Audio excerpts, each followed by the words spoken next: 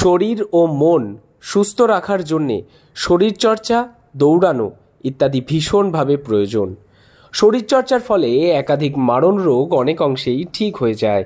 সেই কারণেই নিয়মিত শরীরচর্চা ও দৌড়ানোর ফলে স্বাস্থ্যের উন্নতি ঘটে এবং বিভিন্ন রোগ ব্যাধি থেকে দূরে থাকা যায়। সেই কারণেই ডায়াবেটিস নির্মূল করতে সমাজের বিভিন্ন স্তরের মানুষকে কীভাবে সুস্থ রাখা যায় সেই পরিকল্পনাকে বাস্তবায়ন করতে শান্তিপুরে ছ কিলোমিটারেরও বেশি এক ম্যারাথন দৌড়ের আয়োজন করা হয়। দৌড় ছিল ছ কিলোমিটার দুশো মিটার ছ কিলো ছয় কিমি আহ, দুশো মিটার রান ছিল।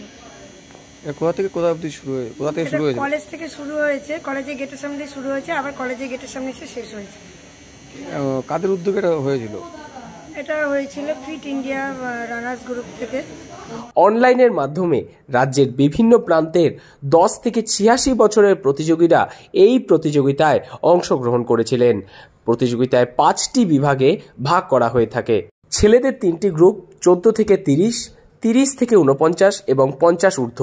অপরদিকে মেয়েদের দুটি গ্রুপ চোদ্দ থেকে উনচল্লিশ ও চল্লিশ ঊর্ধ্বে আবেদন করতে বলা হয়।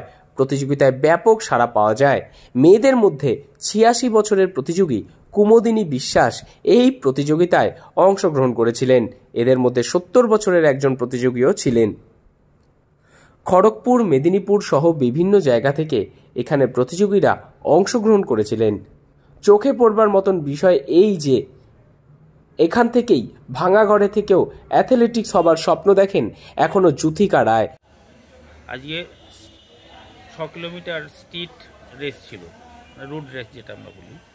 কটা গ্রুপে ভাগ করে এবং একশো কুড়ি জন পার্টিসিপেন্ট টোটাল পার্টিসিপেট করেছিল।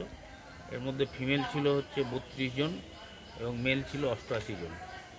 এবং অনেকজনই সিনিয়র সিটিজেন ছিল তার মধ্যে একজন মহিলা ছিলেন তার হচ্ছে ছিয়াশি বছর বয়স।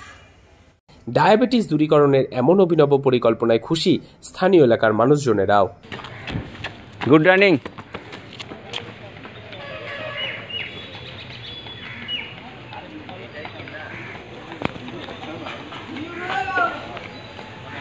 good running good এই জল জল জল।